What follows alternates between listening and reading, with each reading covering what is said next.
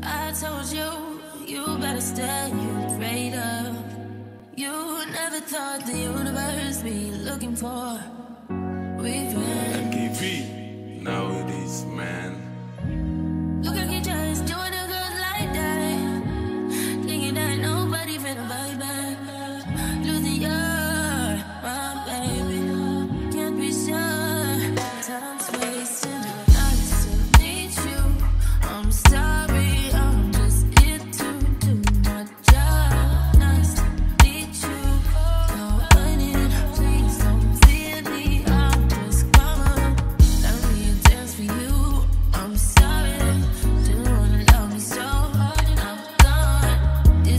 Just for you.